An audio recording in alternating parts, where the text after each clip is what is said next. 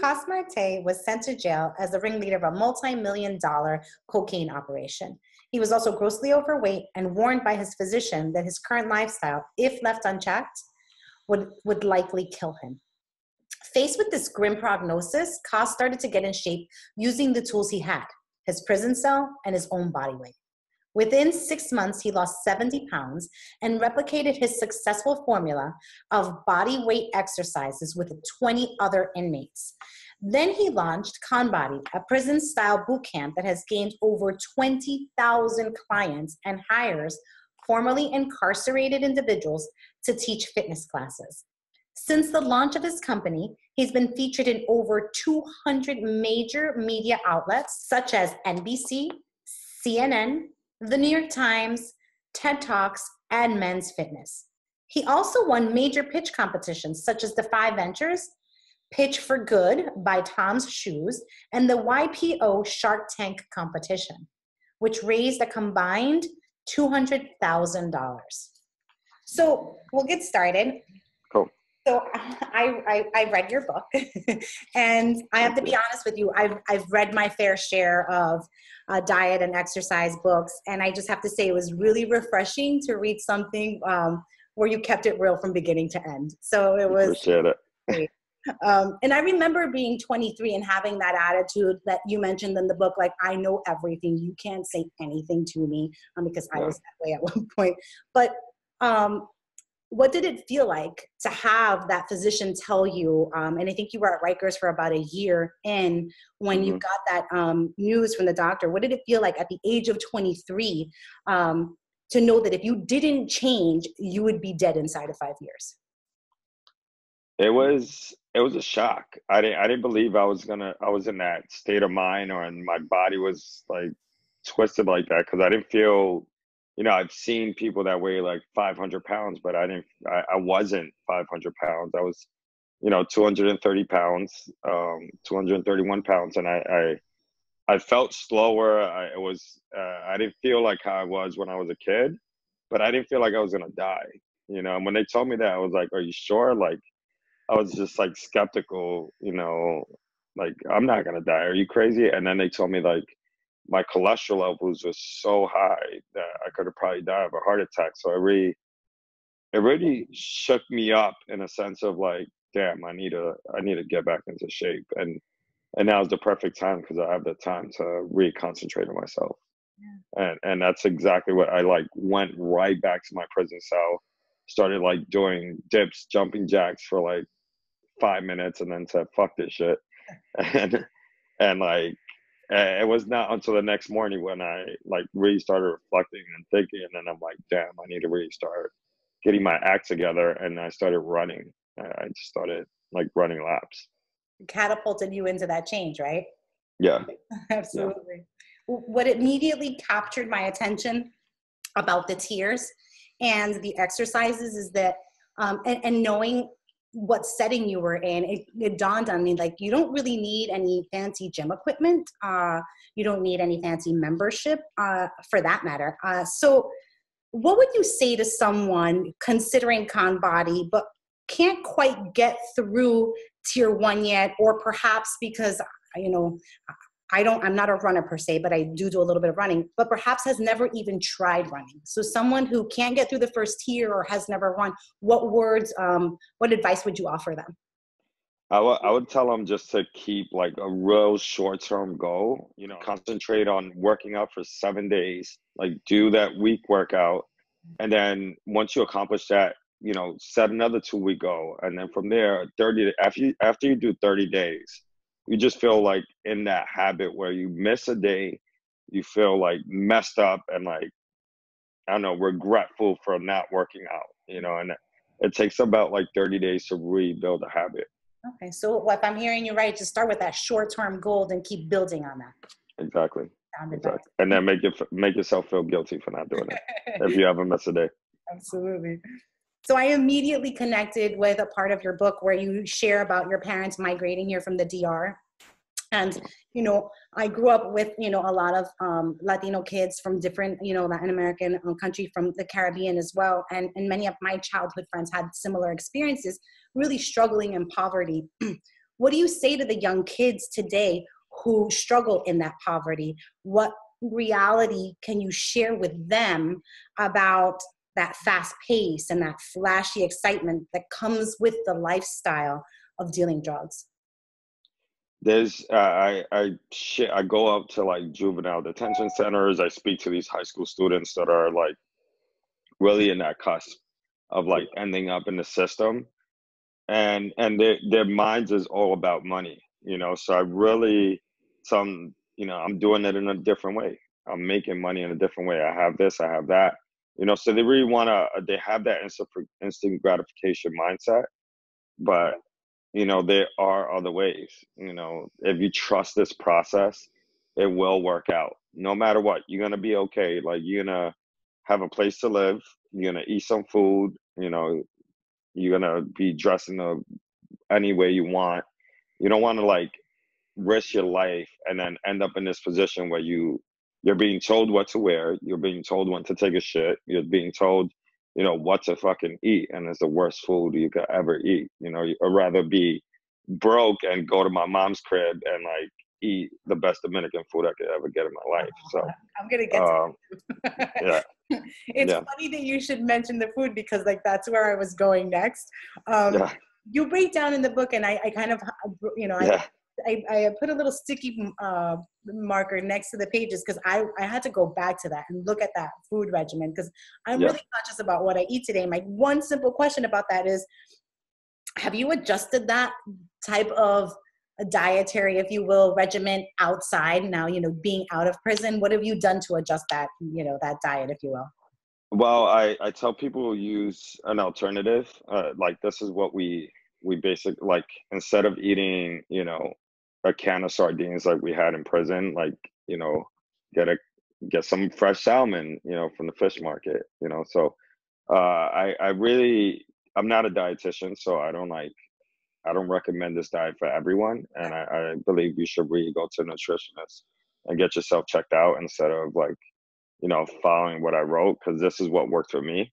Okay. So it's it's not gonna work for everybody, but it's basic. What I basically did is just like really lowered my carb intake, stopped drinking all the processed juice and shit. Uh, yeah, the, the the the sperm killer. Uh, that's what they call it inside, and um, and and just really in, high intake in protein, best fruits and vegetables, and and that's basically what I did.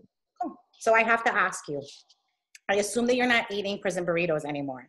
But I, I want to ask kind of a, a real question about food, and um, you know, how do you stay away from things like mofongo and just our culturally rich foods, um, which you know, you know, we share in common, but don't necessarily support a healthier lifestyle. So, what's your take on that? I don't stay away from it. I I, I love it. I love it. I'm not gonna lie to you. I, I love the food. I just don't overindulge like I was There you go. before. You know, like uh, it, it usually when you go to like a uh, Spanish setting, most uh, like you go to these Spanish restaurants, they serve you like four, five scoops of big ass rice. Like they really fill up your whole plate. And I, what I tell them is like, yo, cut that shit in half. Like take out, you know, give me one scoop of rice, and like I'll take all the other stuff. That's I, I really limit myself from overindulging. Um, I, I love mofongo. I like I don't I don't eat it every day, uh, but I I do I do indulge like once in a while. I'll have a piece of cake, Dominican cake or whatever, you know. Good stuff. Um, yeah, I mean don't don't limit yourself, but just don't kill yourself, you know. Makes sense. Moderation. Talk. Um, you talk about the inspiration, um, specifically Little C, your son, and uh, the guys on the inside that you helped out um, create this lifestyle for them as well, um, to keeping you going down the path of health and wellness while you were inside. And you know, from a personal perspective, I can certainly relate to the motivation of our children. Um, you know, giving us or, or wanting us to be the best version of ourselves but what I want to ask about is what does it feel like to have so many men on the inside and now on the outside look up to you for guidance, both on health and wellness? Um, and, and how does it feel to help at the time what was over a thousand, um, uh, all these men to lose over a thousand pounds? Tell me about that experience. It was uh it was an experience that I just thought it was a camaraderie builder. I didn't really think that I was like I, I knew I was like helping these guys, and it was just like a, a, like some type of teamwork, and it, we had the time to like we just work on our bodies, support each other. It was it was a team. I didn't think anything of it. I didn't think I was gonna come out with a business after you know helping these guys lose weight, lose weight. But um, it was it was just like something we did in prison. You know, like let's get together, work out you know, most of the guys in there are like motivated by females. You know, they come out, they're like, oh, I got to get big for the girls, blah blah blah, um, and and that's what the uh, most of the guys' mindsets were too. Um, can't blame them. You know, I, I was working out with guys who've done 20, 30 years, um, but also like for our family. You know, like my son was uh, almost everything to me in there. You know, he he really motivate. I don't know. You feel that that pain in your heart when you're separated from your child. And every time I saw him, and every time I saw him walk away, it was it was even harder, but also motivating to get out there and like really be a dad. You know, and I feel like a, a dad is a DAD, a day a day after day. You know, like that's a dad. You know, being there no matter what. So and I couldn't be a dad while I was in there. Okay. So, how would you respond to someone who says con body is just for men? Uh, they're completely wrong. Um, my my mom is 63. She works out four times a week nice. with us. She's a beast. uh, and, and primarily the people that come to our, our classes are we have 70% women. Uh, which is uh, which when the women come in there and you see guys in there, they kick their asses and the guys be like dying.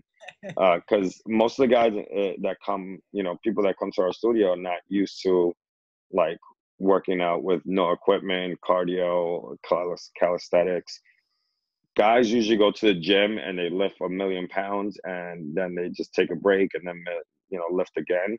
Um, this is nonstop. Like this is, you know, you know, work out till you die, basically. No, I'm, I'm not killing anybody. I'm not a killer, but don't push me.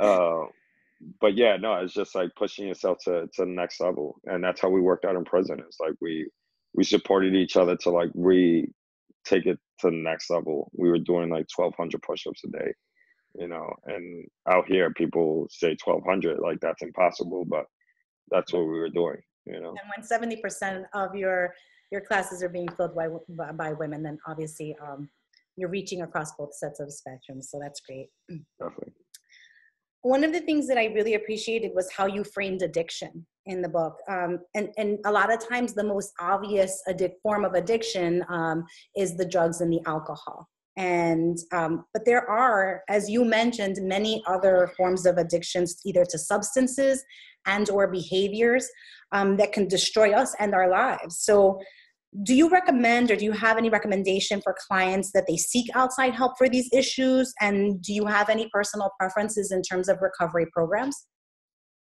Uh, definitely. I mean, it, I feel like everybody needs therapy, and, and the problem is when you come out of prison, uh, a lot of guys have this like machismo like attitude that I don't need help, I could do this, and I feel like that's what that's what that's how I changed, you know. But I need help, and and what I refer people to a lot of nonprofit organizations that help, uh, especially for people that's coming out of prison. I work with Fortune Society, Defy Ventures, Thrive, um, Career Gear. So all these nonprofits that helped me along the way when I was released uh, to readapt. You know, they they really helped me with my not only my psyche but like just my whole living situation.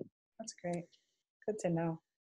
So one of my favorite parts of the book was when you were in solitary, and not because you were in solitary, obviously, but because um, when when the stamp fell out of the Bible, and um, the question that I have about that, and there are a few questions I have about that that period of time and that experience. But the first one is um, when the you in the book you said that you got chills. Did you equate that stamp falling out of the Bible as almost like a, a spiritual awakening or something similar? Yeah, definitely. I, I felt I, I call it a spiritual awakening. Um, I mean, I didn't. I don't know. I just I, I felt like I felt something that I never felt before, and there was just weird things that happened to me in that prison cell that it's really unexplainable. And I don't know. Some people just don't believe me, but um, it's real. It's what happened to me, and I I don't know how that stamp was there. Maybe it was there or whatever, but you know, even if somebody put it there and it was there for a while, um, I just felt it was like a sign of hope, Absolutely. uh, a sign, a sign of like really escaping, you know, you know, a sign of hope to just even communicate with somebody. You know, like there's this che- the cheapest probably item that you could buy today is a stamp. You know, and how I was all about money and a stamp changed my life. Yeah. So So staying with that, um, staying with that moment for a minute, I know that prior to prior to that in the book, um, you were still thinking about how not to get caught when you got back out. And I want to know that I want to ask if it was that moment that shifted that perception for you. Um, and talk to me about the moments after that shift and so going from um, a thought a frame of thought where I, you know when i get out i'm going to do things where i don't get caught to the shift in you know not wanting to go back to that way of life uh, I mean, it was it was like right before I ended up in solitary confinement. I mean, I didn't uh, like my notion was not to go back and like sell drugs uh, uh, right before then. Um, I pretty had a I had a pretty good mindset, but I felt like if I would never went through that that um, that situation, I could have ended up in you know falling back into those footsteps. Um, but the mindset was, you know, there was I felt regret. I felt so bad. I, I never felt bad for what I've done, and and after like reading the Bible from front to back, I started realizing what I was doing was extremely wrong, and I was affecting thousands of people, and was creating this whole web of destruction. And I, I felt like I don't know, I it really like hurt deep inside my soul, and I felt like I needed to give back in some sort of way, and that's and that's how like ConBody was born.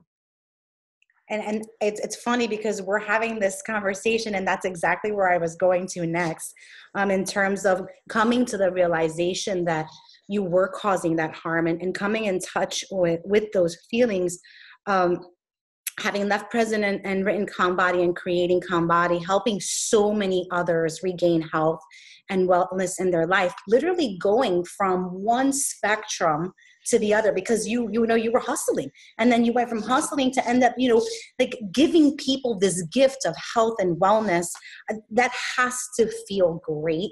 Um, what about being of service to others has touched you the most I I feel like what what touches me the most it's it's a lot of things. I mean, even like when I get my trainers or any employee that's been in the system and they're working for us and they and I get like a simple text where it says, "Yeah, I, I thank you so much." Like and and just it's just hearing the emotional and and like appreciative uh person on the other end uh it makes me feel like i don't know like jesus for a second you know um good yeah man you're helping yeah you're making a difference in other people's lives and i i've had i had one incident where this woman she came in um when i was first starting i was actually renting out like studios and stuff and and uh she came and after she kept working out with us for about a year Mhm. um And there was one day I was I was working right in the front desk, and I, I was her name was Jamie, and I was like, Jamie, you, you lost a lot of freaking weight. And she turned around and started crying, and it was like, it was because of you, you know, like I have no excuse. You did this in like the worst conditions you could ever do it in. I have everything I could possibly have here, and your story motivated me. And she lost a hundred pounds with us, and, a and hundred pounds. it is a motivate it is a very motivational story um and thank and thank you for sharing that with me um in the book you talk about regret you talk about shame you mentioned that earlier and in addiction and in recovery, we know that these emotions have the capability of keeping us entangled sometimes with old behaviors um, and belief systems. Essentially, they can keep us stuck sometimes, but that's not your story. You turned that guilt and that regret, and it fueled and created ConBody. What do you say to those who are still struggling or suffering with guilt and regret? Uh, just get rid of the shame. You know, it, it everything is short. Everything is limited. Um, I really, uh, all all our time here is limited. So why why waste your time and just like sitting in your sorrows? You know, get your ass, get moving, do the time. Do the um, time. yeah. Absolutely, that's awesome. Thank you. So, in a recent TED talk, um, I don't know how recent it is, how recent it was. I saw it online. Uh, you talked about the difficulty um, finding a job once you were released from prison, and you asked if one could imagine what it would be like I, at the end of that TED talk to be judged for the rest of your life for the, the worst thing I ever did. And, and quite frankly, I've never been to prison and or jail. And um, but I have done things uh, that I'm not proud of, or you know, I wouldn't want anyone else to know. How, as a society, do we expect people to change if if we don't afford them that opportunity? And I didn't have that perspective before, you know, reading your book. So thank you for that. Tell us, um, because I I saw the TED Talk, but um, many probably haven't. So one of the questions that I wanted to ask you about that is could you tell us a little bit about what it was like trying to find a job after your release? I mean, it was extremely hard. I, I went to probably like every retail store you could think of on Times Square, Herald Square. Uh, I would I would get these like you know the old school like way of applying, and it was really tough. It was hard because a, a lot of people like go apply online, and I missed that time lapse where like applications were done in person. You know, it was a piece of paper. You fill it out, you give it to the manager, and you like keep moving. And it was frustrating because I didn't know how to use the internet. You know, I missed that that time lapse. I went from like a flip phone to a touchscreen. You know, I missed Facebook, Instagram, Twitter, all this stuff. It was extremely difficult. Eventually, I learned it, but going into these like job sites and like filling out these applications um, I would it said, "Have you ever been convicted of a felony?" And that was like the second line in most applications. And I would have to say yes. And when I would hand that paper in, you would see that manager just looking, you know, and, you would see they'll be like, "Oh, I'll call you back," and I'm be like, you know, back in my head is like, "No, you fucking not." Like, like you'll see their body language saying like, "Yeah, whatever," you know, as soon as they see that check mark. Right. Um, and it was it was it was frustrating. I could imagine. Talk to me about how you're helping felons in your area return to the work- workforce. Um, so we, and maybe not just your area, but in general. Yeah, in, in general, I mean, a lot of people hit me up from across the world. I get, and I, I refer them to organizations that can help them in, in their their city, their town, because I'm I'm pretty uh, well connected with a lot of nonprofits around the, the country now. Um, it's it's hard. It's hard because a lot of people ask for help, and and a lot of people, you know, write me a letter and say, "I'm coming home in a year, coming home in six months. Please save me a spot," and I I can't. You know, um, I don't have enough funding to have a million studios to hire a billion people yet, but I will get there. You know, and uh, that's right. With, with consistency and patience, that's it. So, you have this great inspiring, real book on transformation. You continue to serve others. What's next for Coss Marte? Uh, so we're looking to open up. Uh, what I want to do, my goal is to open up nine studios in in the next five years. Uh, we also launch. We're launching our 2.0 like online platform where you could virtually work out with your favorite ex-convicts for five dollars a month. Uh, so we're doing a video there, and then we have a documentary that we've been filming for a very long with an Academy Award, Award director. Um, yeah, she's been filming me almost four years and following like my whole mission and like straight out of prison basically. I like connected with one of her friends over the subway just talking to people and it Uh, now she's got like 300 hours of footage, which is crazy. But yeah, that's amazing. So, if someone wanted to visit uh, LES and and get to your studios, how would we get that information? So you could just go to conbody.com. You could search Google and uh, and just find all our information there. Just Conbody, C O N B O D Y uh, dot com, and and hit up us on on Instagram. It's two ninety four Broome Street, right. uh, and get yourself locked down. And then that online platform too, right? Yep, it's right on the site. I read it. It's great. Thank, thank you. you. I'm actually thinking about um, thank you. trying it myself. So thank you for the inspiration and thank you for continuing to serve others. It's been great chatting with you. No, I really, really appreciate it. I really appreciate it. Thank you. Thank you.